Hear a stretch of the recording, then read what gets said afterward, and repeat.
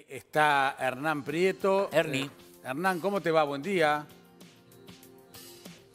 ¿Cómo anda Jaime? Buen día, exactamente. Estamos, como decías vos, en una zona privilegiada, estamos en Zona América, precisamente en el edificio Celebra, y estamos muy bien acompañados La verdad que las sí. autoridades.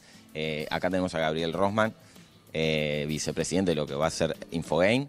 ¿Cómo estás, Gabriel? ¿Todo bien? Muy bien, muy, muy, muy, muy contento. Felicitaciones. Gran día hoy.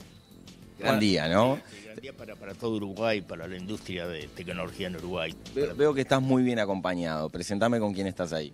Estamos aquí con Rohit Nagpal, que va a ser el presidente de la compañía aquí en Uruguay, aunque aunque no va a vivir aquí, continúa viviendo, viviendo en Estados Unidos y está a cargo de todos los sistemas que están fuera de Estados Unidos. Y Rajiv Nektani, Rajiv es el director de recursos humanos para global para todo el mundo y él vive en, en India. Este, los dos van a estar este, mirando cómo andan las cosas en Uruguay y cómo crecemos. Excelente. Eh, ¿A qué se dedica Infogame? dedica al desarrollo de, de sistemas con, con, un- con- con el- con la persona en el centro de ellos y alta tecnología de, de inteligencia artificial, este, de la nube, todo lo que está relacionado con las nuevas tecnologías que están hoy. Bien, estamos ahí, estamos conectados con, con Jaime. Jaime, ¿estás por ahí? Sí, claro que sí, muy, muy atento. Además, un Te dejo conectado con Jaime, claro. Un, un gustazo de, de hablar nuevamente con, con Gabriel, ya hemos tenido varias oportunidades, es incansable, yo no sé, después no tiene que dar la fórmula para estar con esa vitalidad y siempre con ideas nuevas y, y renovadas, Gabriel, siempre es un gusto hablar contigo.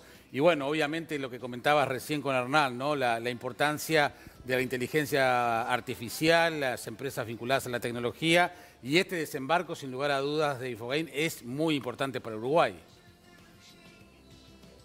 Sí, es muy importante para Uruguay, creo yo, de, este, hacer la industria más fuerte y sobre todo que este Infogame lo que está haciendo es viniendo a Latinoamérica a buscar talentos y recursos para integrarlos en su red global, que tiene más de 6.000 personas trabajando este, en varios países, pero nosotros vamos a estar trabajando sobre todo en los proyectos de Estados Unidos.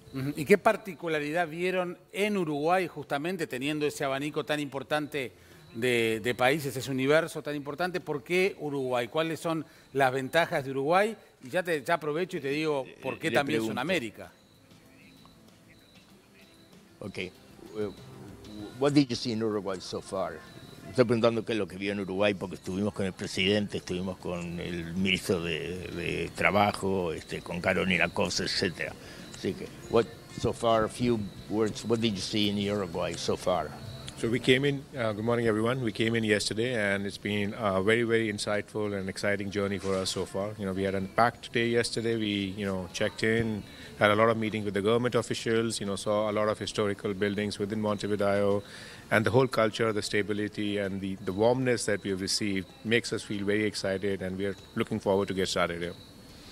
Sí, se refirió sobre todo este, qué impresionado estaba con la manera como nos recibieron, porque fuimos a hablar con, con varias personas. Está impresionado por la estabilidad del país, lo que muestra Montevideo también, y está muy contentos de haber venido aquí. Gabriel, eh, ¿cuánta gente va a trabajar? ¿Cuánta gente uruguaya? ¿Va a haber gente del exterior? Digamos, ¿cómo se va a organizar en forma operativa Infogame? How many people? Eh, en realidad vamos a, este, a tratar de llegar a 200 lo, lo- lo antes posible. Eh, con la falta de recursos que tiene Uruguay tenemos que también im- importar gente o Claro. y entrenar gente también nueva. Así que en realidad este, la cifra va a ser mucho más alta, como, como fue con Tata, va a ser mucho más alta, pero este, eh, de a poco porque hay que anotar los recursos y hay que entrenarlos. Pero estamos en eso. Claro. Eh, y, y los clientes, porque también esto le va a permitir a Uruguay justamente generar negocios y, y convertirse también en un punto de interés desde el exterior nuevamente, mirando hacia nuestro país, ¿no? Con esta operativa. Claro, eh, los clientes están en Estados Unidos, el- los principales para los que vamos a trabajar y vamos a trabajar en equipos mixtos que van a tener gente de India, Estados Unidos y de, y de Uruguay. Muy bien, te agradecemos enormemente este, este tiempo. Te invitaremos a, a tomar un café Al- al aquí en el estudio. Tenemos muchos temas para, para conversar contigo, además de la fórmula de seguir tan vital como siempre. Gabriel, te mando un gran abrazo. a las órdenes, a las órdenes. Muchas gracias. Que pasemos bien, Hernán. Gracias por todo.